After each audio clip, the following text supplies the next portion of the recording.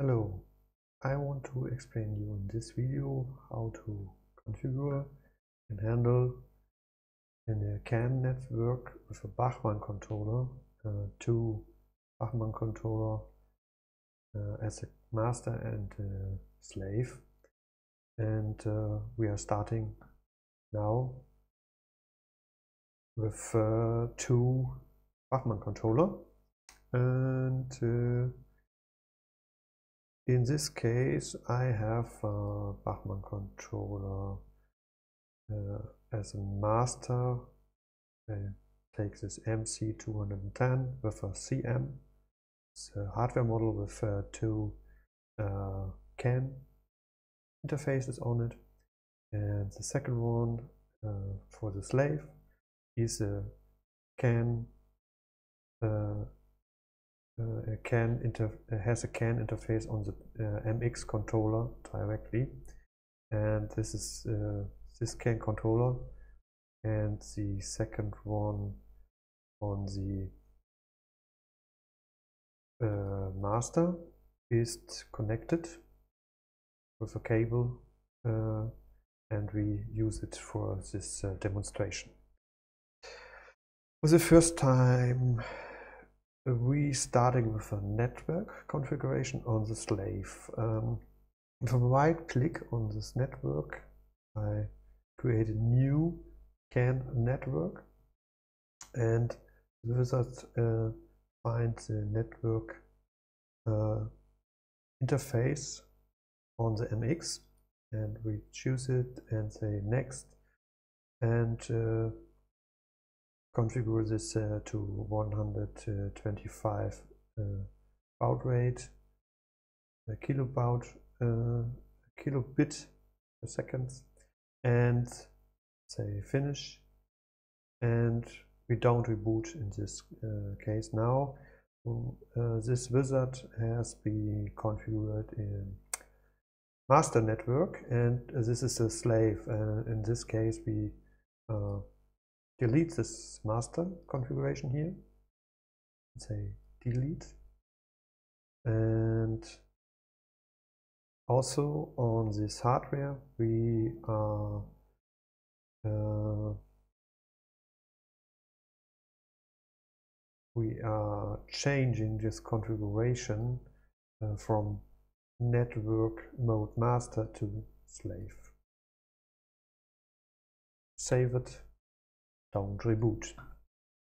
Um, then with a right click we starting uh, to uh, include a new device and from the catalog we choose um, MX2 uh, MX2XX uh, this is an MX controller in this case and uh, pressing next and then say we want to use it as a node ID 1 you can change this to whatever you want between uh, 1 and 127 um, then we go to next next and finish.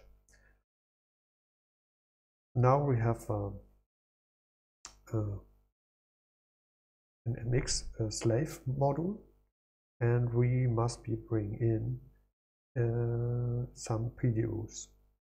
In the PDO connection, PDO connection, we can make a right click on it and say create PDO uh, and make a receive PDO in the first uh, the first step and we get it here and say uh, then choose this uh, PDO, receive PDO, make a right, right click and say add variable.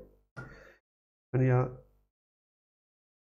uh, add a variable, you choose uh, uh, type whatever you want. We, in this video, we take an integer 16 for this, read write integer, and give this um, integer name. Uh, I choose uh, C for can IO for IO underline RWRW for read write and uh, say channel 1 put it in and the next one I make it on the same way an integer 16 with the name? CIO RW and C channel 2 then I create another PDO right click on the yellow area here and say uh, transmit PDO and add another variable from the same type like uh, integer 16 with the name CIO uh, R for read readable uh, channel 3 and another one with the same type and CIO underline R underline C 04 for channel 4 for example. And now we must be activate this with a right click on the PDO we activate this PDO and with a right click we activate the second one also. Then I hope so we have nothing forgot. And we save this configuration and then we can reboot now. On the other side we go to the um, master and say in this network folder right click new CAN network and we say we can choose uh, two CAN interfaces but uh, on this port 1 I have connected to my CAN slave uh, then I choose this and say next. And important is that this is the same baud rate uh, as on the slave. Uh, we say finish. And he want to reboot now. We say okay reboot now. Then we're waiting controller coming back. And uh,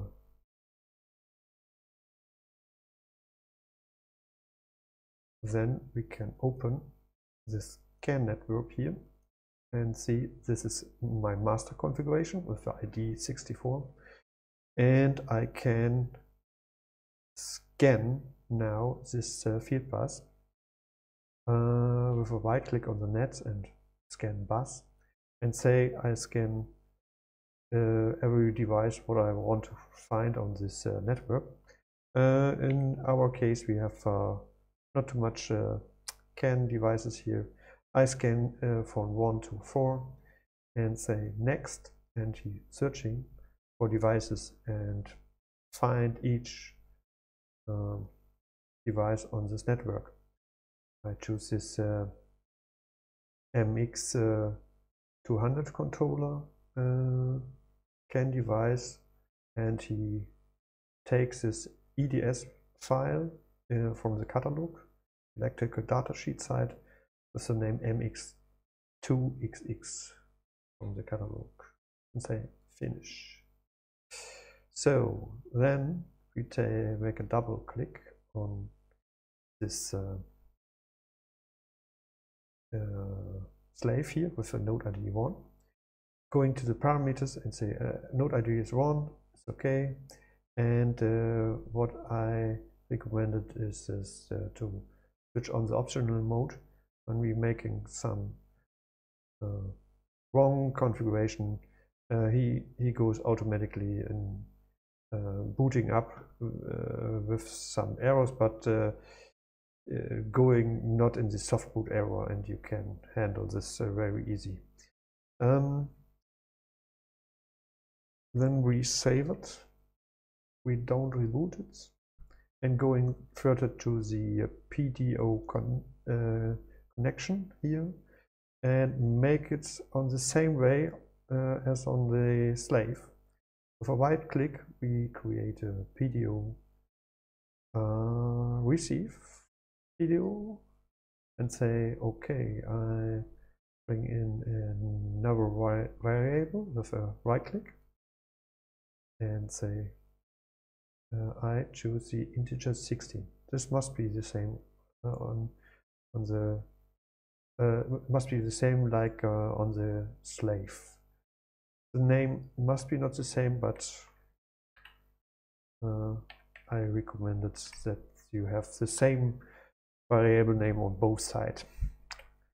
Um, CIO RW uh, C channel 1 and next one is also in uh, integer 16 with the name CIO uh, RW channel 2 and then we going further with a PDO uh, transmit transmit PDO and make it uh, uh, and add a new variable uh, integer 16 with the name CIO R for readable and C channel 03 and another one the same type CIO underline RC04 okay. I hope so this is integer integer 16 integer 16 integer 16 and now I must be activated. And uh, we need now this mapping to our master. And this is very easy. We click on uh, on this uh, receive PDO for example right click and mirror PDO then you can make some uh, give some prefixes and suffixes on uh, in it. But uh, in the moment he makes a n for the node and the id number uh, putting in the front of the um, of the name. And he makes for you giving this name and uh, create all these uh, necessary things. And the same we make it on the other side uh, to the tr transmit PDO and say okay we make it.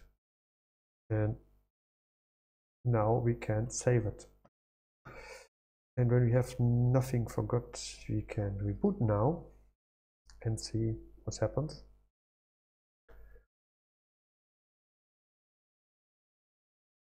Take coffee. And when he's coming up, then we can see that we have uh, now this uh, layout here and we see that our MX is an, an operational mode. And we see also our slave uh, it's also in the operational mode. When we are switching uh, stopping this uh, from the master side uh, then it's going this uh, slave in pre-operational mode. And we see it this makes the same with this side this meaning that we have uh, all configured this in the right way. Now we're starting. Uh, once more this uh, uh MX um, controller and we have it going in operation mode. It's all correct. So now we can see in our variable view This is the variable view and we can see in our CAN on the master, we have these values, channel 1, 2, 3, 4. And also on the other side from the CAN slave, we have also uh, channel 1, 2, 3, 4. And uh, we can bring in on the channel 1, for example, sorry, uh, this is only readable. Uh, on, on the uh, channel 3, writable, uh, the 23, for example. Then it's coming up you know, on the other side immediately and also uh, when you bring in a different value here. On the other side we can also uh, give in uh, for the channel 2 for example uh, um, a number like 137 write down and you see it here. On the slave you can uh, get these uh, values uh, over the um, SVI interface and map it to the MIO hardware. This is done in a program, for example. And on the other side, you can also uh, have um, these channels directly in the MIO system. We have switching on this UFB uh, module thing. This can be found here in this uh, network configuration, sorry. Uh, is generate UFB models. This is meaning that you have all these uh, variables you have uh, configured here automatically in the hardware uh, configuration and then you can read out the hardware configuration on the master side and get all the values directly in your program. Um, I hope this is, uh, helps you uh, uh for the configuration and uh, there's also some information, useful information for you in this video and uh, play around with this and have a lot of fun with this configuration in this video. Bye.